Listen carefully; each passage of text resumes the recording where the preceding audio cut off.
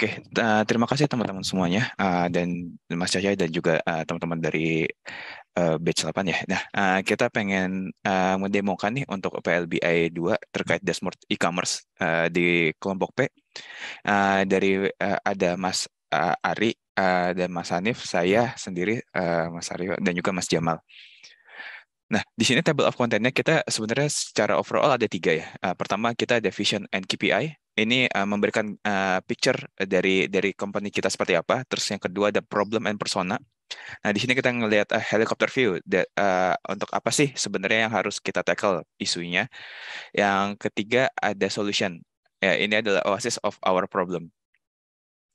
Oke, okay, uh, untuk vision ya. Nah, di sini kita uh, membuat sendiri ya. Kita kita berasumsi bahwa uh, ini adalah sebuah e-commerce yang uh, mempunyai visi untuk menjadi eh, e-commerce yang terpercaya uh, dan juga memberikan uh, quality yang terbaik uh, untuk customer service-nya dan juga uh, menyambungkan teknologi dengan uh, customer with seller. Oke, okay, di sini ada problem statement-nya. Uh, company X ya uh, adalah uh, untuk uh, aiming to gain at least uh, 10% market share and increasing their active user in Indonesia through data driven approach. Nah, ya, ini yang saya ini yang kami tangkap untuk untuk apa problem statementnya. Jadi kita membuat uh, problem statement ini untuk bisa uh, menjadi kompas apa-apa saja yang harus kita uh, solve. Nah, terus uh, secara uh, kalau misalnya kita turunkan lagi dari dari problem dari problem yang di atas, kita melihat ada ada tiga uh, sebenarnya yang bisa kita improve yaitu pertama ada di sales related dengan product delivery and, dan juga net promoter score.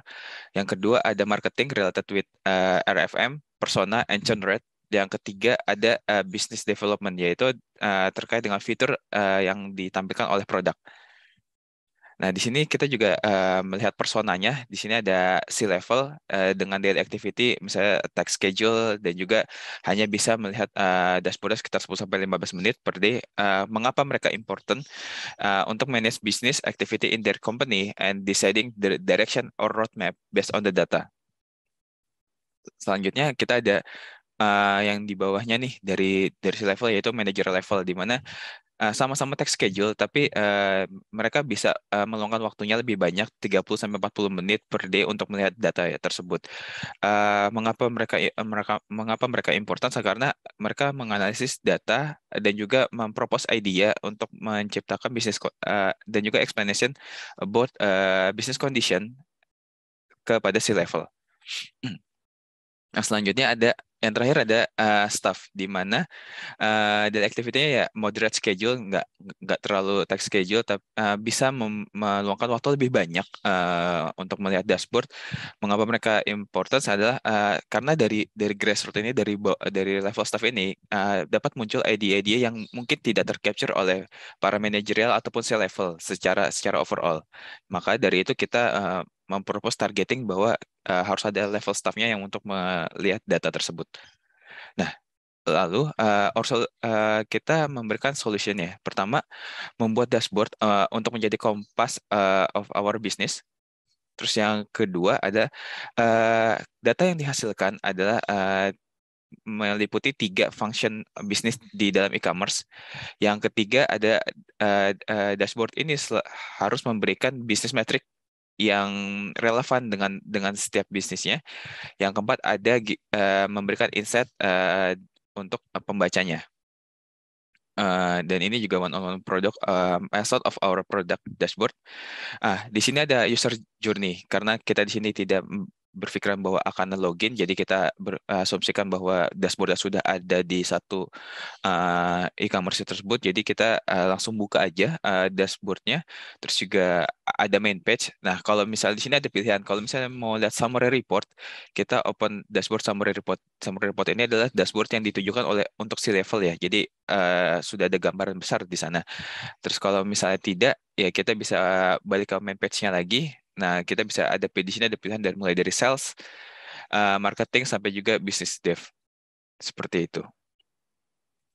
Nah, di sini ada Lofi versus Hi-Fi-nya. Nah, uh, ini adalah wireframe-nya. Uh, ada ada beberapa uh, bisnis metric yang perlu kita tampilkan. Terus juga di sini ada harapannya seperti apa sih uh, Hi-Fi-nya atau produk jadinya Nah, untuk uh, dashboardnya ini mungkin aku kasih disclaimer karena mungkin beberapa uh, view tidak tidak bisa terlihat. Uh, ini uh, menjadi MVP ya. Mungkin saya coba buka untuk linknya.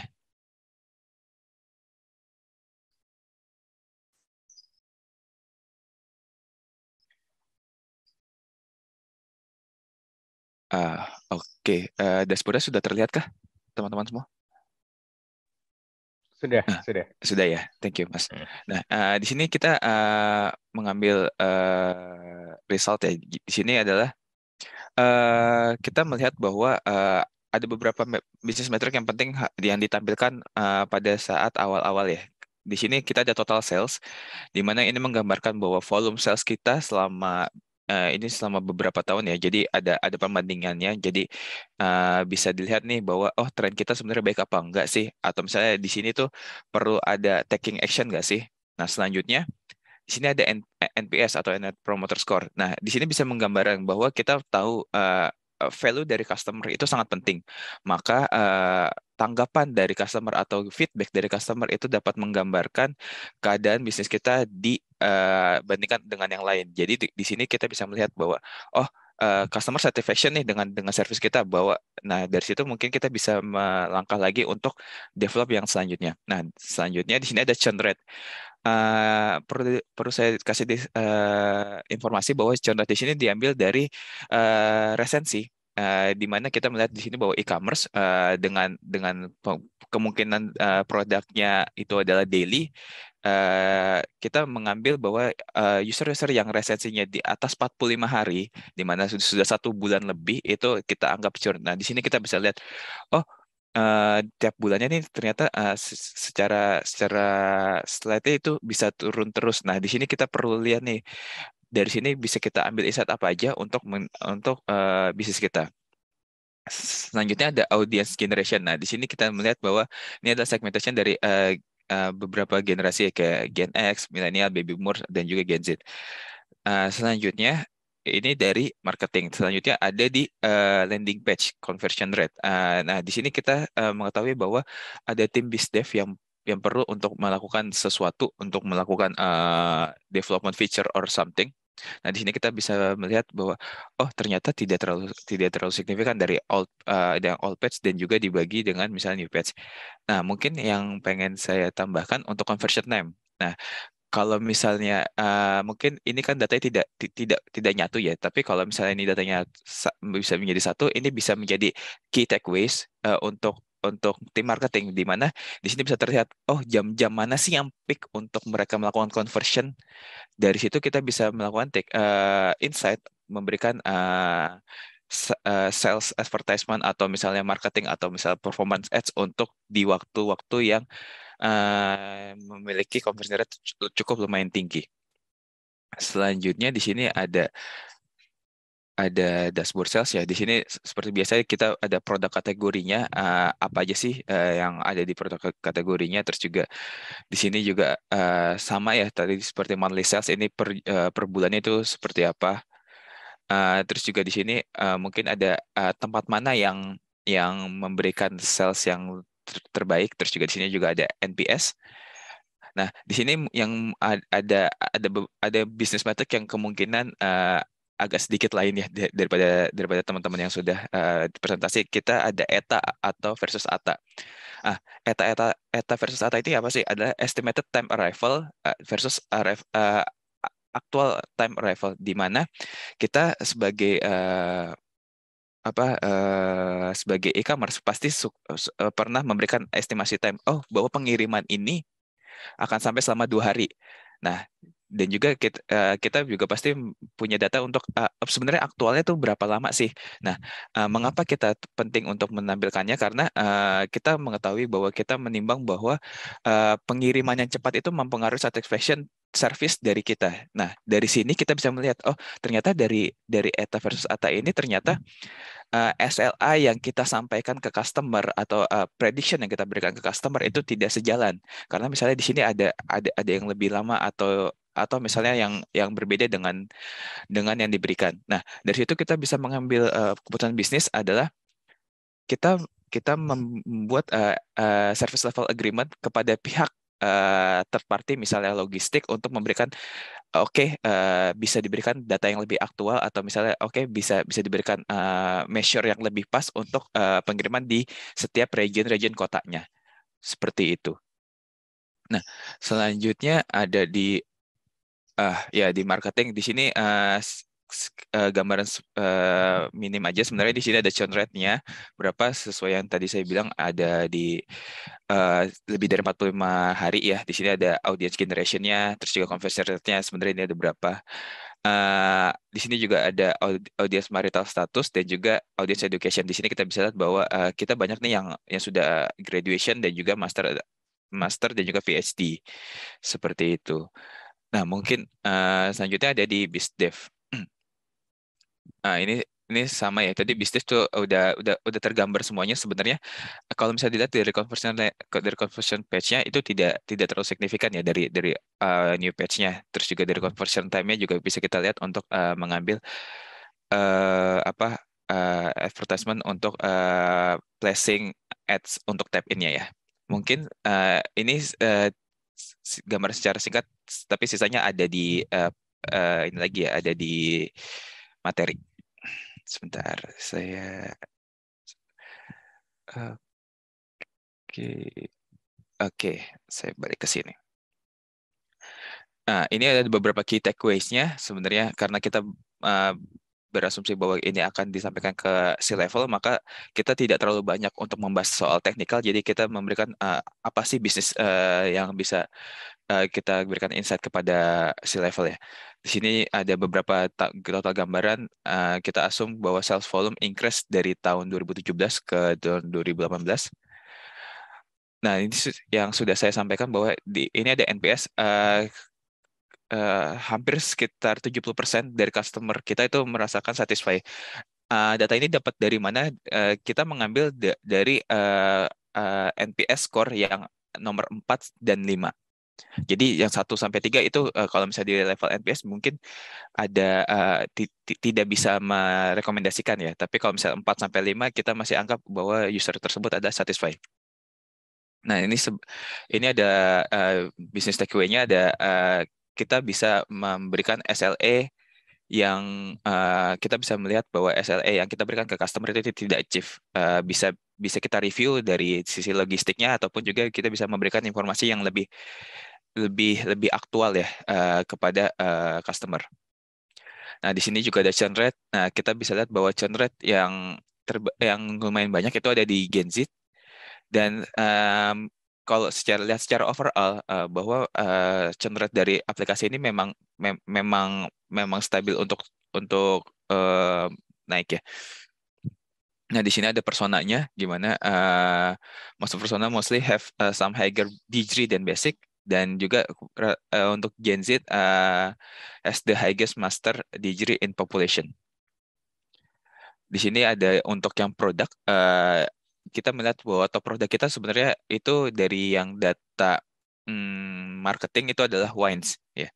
Nah, di sini kita bisa memberikan informasi bahwa oh ya, oh yaudah kita punya kita punya value untuk menjual wines. Nah, itu bisa membuat uh, apa pivoting kita bisa membuat branding bahwa oke okay, kalau kalau kalau Anda seller mempunyai produk wines bisa bisa di store ke kita karena kita mempunyai conversion rate yang lebih tinggi.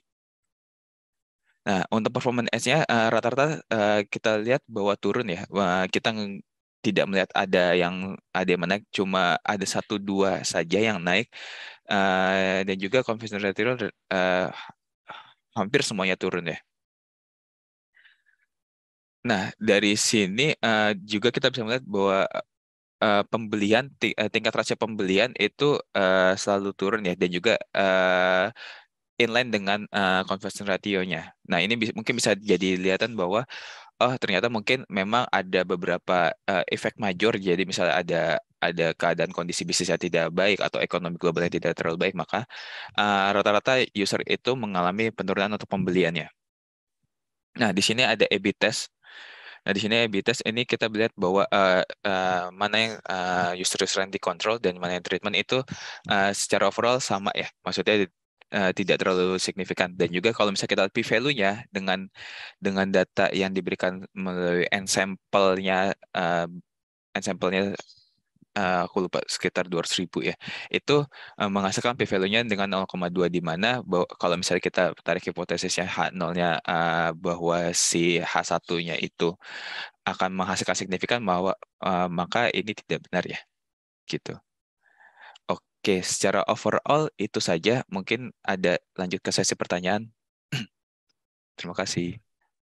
Oke, terima kasih dari timnya Mas Ari, Mas Babas. Mas Jamal sama Mas Hanif. Oke, aplaus dulu ya buat tim. Oke, ya dashboardnya sudah menarik. Tadi penjelasannya juga bagus dan kita kuisnya juga sudah cukup lengkap. Dan di sini yuk kita langsung buka sesi tanya jawab. Silahkan ke teman-teman buat bagi yang merasa penasaran terkait hasil proyeknya tim P, boleh kalau mau nanya. Silakan. Halo Mas. Oke. Uh, kedengeran ya Mas? Mau tanya? Halo Mas. Oke, okay. uh, eh, halo Mas Babas, mau tanya. Mungkin terkait time frame-nya dulu tadi, saya melihat kayak ada perbedaan time frame ya antara sales sama penentuan segmentasi tadi ya. Tadi yang segmentasi itu ada yang 2012 sampai 2014, terus sales itu kan datanya tadi kayaknya 16 atau 17 sampai 18 ya. Nah, itu kenapa ada perbedaan time frame ya? Karena kan kalau misalnya mungkin mau ngambil key takeaways yang sama, mungkin data source-nya juga harus sama ya terkait time frame kayak gitu sih mas mungkin yang pertama itu dulu Oke, mungkin dari Mas Ari atau Mas Jamal bisa dibantu. Coba ini, iya coba tolong uh, balik ke slide-nya. Tadi bagian mana Mas Rizky? Tolong di kasih tunjuk. Nah misalnya yang ini nih Mas, kalau nah tadi yang performance, uh, sorry, nah ini plus yang produk. Nah misalnya yang produk kan 2012 hmm. sampai 2014. Terus kalau misalnya yang sales, coba lihat deh mas. Hmm, yang mana? Nah, ini kan 16 sampai hmm. 18. Eh, ini kan delivery ya. Kalau yang sales. Nah, ini juga kan tadi kan dari tahun berapa Mas yang sales? 17 sampai 18 ya. Nah, maksudnya tadi ini time frame-nya 17 sampai 18, terus juga produknya juga tadi kan 12 sampai 14 ya. Maksudnya itu kan ada perbedaan waktu. Mungkin kalau misalnya produknya itu sama juga di tahun 2017 sampai 2018 bisa juga ada perbedaan juga kayak gitu. Maksudnya um, kenapa ada perbedaan time frame ini? Uh, saya ingat saya malah kok jadi ada beda tahun ya, saya juga baru nggak. Eh, kalau dari sebentar, saya double check ya. Itu data sales kan? Oke. Okay. Uh, eh, Sales versus iya salesnya memang 2017 sih. Terus tadi data satunya itu yang grouping ya. Um, kebetulan kalau yang grouping itu saya ngerjain coba saya double check ya sebentar. Om marketing. Saya itu benar mas. Jadi misalnya kalau apa namanya um, pertanyaan benar. Jadi kalau misalnya yang memang time frame nggak sama, memang harusnya nggak dihubungkan. Cuman saya terus terang saya baru nge sekarang. Um, jadi mohon maaf untuk itu. Saya harus double check uh, terkait dengan hal ini. Harusnya harusnya barangnya sama ya. Soalnya pas saya wrangling itu uh, saya um, ikat sama user uh, bukan. Sama iya sama user ID ya kalau nggak salah. Jadi harusnya nyambung. Uh, kita harus cek ya mas ya. Uh, itu untuk pertanyaan saya nggak bisa jawab. Mungkin ada nextnya. Oke okay. uh, eh, mungkin yang kedua yang ini mas terkait ITE versus ATA cuma ya. mau lihat sebentar. Iya ya, coba tolong di itu juga sebenarnya ada catatan nah, itu. Um, ya, ini kan sebenarnya sangat penting juga ya untuk e-commerce terkait delivery pengiriman. Cuman mungkin notes-nya kalau dari saya opini pribadi mungkin bisa dilihat per region juga karena delivery time per region itu juga bisa mempengaruhi terkait kurir dan juga daerahnya juga. Jadi mungkin SLA tadi yang disebutkan Mas Babas juga bisa berbeda-beda tiap region dan juga berbeda tiap kurir sih. Mungkin notes itu aja sih Mas. Hmm. Nah itu saya udah coba cek sih Mas region itu. Jadi saya waktu itu saya cek per city apakah tiap city itu ada trennya semakin jauh dari posisi maka saya jadi saya ambil yang kota yang paling jauh dari Brazil. Uh, jadi antara jadi asumsi saya gini, kalau seller sama customer yang itu berjauhan, kotanya nggak sama, maka pengiriman akan terlambat. Jadi yang saya lakukan, saya grouping berdasarkan kota yang sama versus berdasarkan kota yang berbeda antara seller sama customer. Itu nggak ada perbedaan.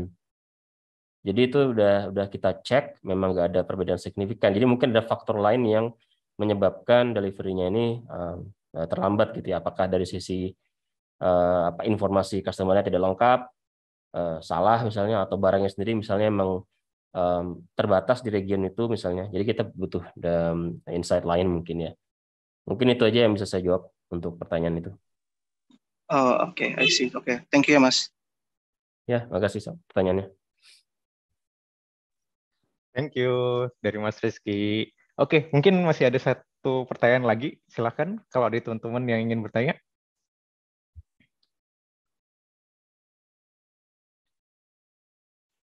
Oke. Gak ada yang ingin bertanya ya? Oke, ya udah kalau kayak gitu uh, paling dari aku ini Mas Ari, Mas Bebes sama Mas Jamal, ada Mas Hanif juga ya? Oke ya. Oke, ya, Oke, ya paling aku komentar aja. Mungkin yang pertama yang dari si level itu uh, tadi kan dikasih gam grafik tentang churn rate gitu ya. Nah, artinya ya uh, si level tahu kalau uh, user ini itu churn dari waktu ke waktu gitu. Mungkin ada baiknya juga bisa ditampilin sebenarnya ada user yang baru lagi nggak dari waktu ke waktu atau yang reactivate gitu loh ya. Mungkin usernya sudah lama nggak aktif tiba-tiba uh, aktif lagi gitu. Jadi untuk ngasih ngasih gambaran juga selain ada yang turun, ternyata masih ada nih yang berpotensi untuk naik gitu ya. Nah, itu bisa juga ditampilkan mungkin ya, yang kayak dulu waktu kita belajar di kelas itu ada low subscription sama new subscription, bentuk kayak gitu juga nggak masalah gitu. Nah, paling itu. Terus sih sama yang terakhir yang dari itu sih, yang dari A/B testing itu, lagi-lagi kalau kalau kita pengen biar tim BD bisa enak dalam menentukan gitu ya. Terus uh, bisa memantau juga mungkin bisa dikasih asumsi-asumsi yang dipakai gitu ya. Kalau tadi sudah bagus ditampilkannya di slide ya untuk asumsi-asumsinya, tapi kalau di dashboard mungkin bisa dikasih gambaran aja gitu. Kayak kayak apa summary kayak seperti timnya Mbak Sarah yang sebelumnya ya. Uh, dia dia itu alfanya berapa, powernya itu berapa gitu. Terus bisa ditampilkan juga yang paling penting kan uh, untuk melihat perubahan efek sekian itu butuh jumlah sampel berapa gitu ya. Setidaknya tim BD tahu jumlah sampel yang ada sekarang itu sudah uh, sudah apa sesuai dengan minimal sampel yang dibutuhkan untuk melihat efek tersebut atau enggak. Kalau misalkan belum, nanti kadang-kadang kayak kita bisa terjebak ke masalah picking yang biasa dilakukan sama sama uh, orang yang lakukan eksperimentasi ini ya. Jadi kayak sampelnya 4000 yang harusnya dipakai gitu, tapi 200 sudah kelihatan ada perubahan signifikan langsung diputuskan gitu. Oke, kita harus pakai yang baru. Padahal itu enggak ya, karena kita harus nunggu dulu sampai uh, jumlah sampel yang sudah diperhitungkan sebelumnya. Paling gitu sih komentar dari aku ya. Tapi overall mantap untuk dashboardnya sudah sesuai dengan tujuannya dan aku suka gaya minimalisnya. Oke, paling Mas, itu dari aku. Mas, saya boleh? nanya dong, boleh nggak dikit okay. aja? Ini waktu boleh. ngerjain A/B testing itu kan kita pakai hmm. kita nggak dikasih tahu apa power power apa thresholdnya minta berapa ya untuk dapetin hmm. power sekian misalnya kayak di hmm. tugas latihan itu. Itu tentuin sendiri ya? Iya, biasanya itu di, dilakukan dilakukan sendiri sama orang yang ngelakuin eksperimentasi, Mas Ari. Gitu. Oh, oke okay, oke, okay. siap siap. Hmm, Thank siap. you, Mas. Kalau kalau ceritanya kadang pertama bisa dimulai dari 80% dulu yang powernya gitu ya hmm. dengan hmm, yeah. confidence levelnya 95. Tapi yes. seiring berjalan waktu kadang oh ditingkatin tuh powernya coba kita tinggiin sama confidence levelnya juga coba kita tinggiin lagi gitu. Ya, yeah. ya, yang penting bisa ngasih sinyal seperti itu ya ke tim BD. Oke, okay, sip. Oke, sekali lagi big applause buat tim G ya. Oke.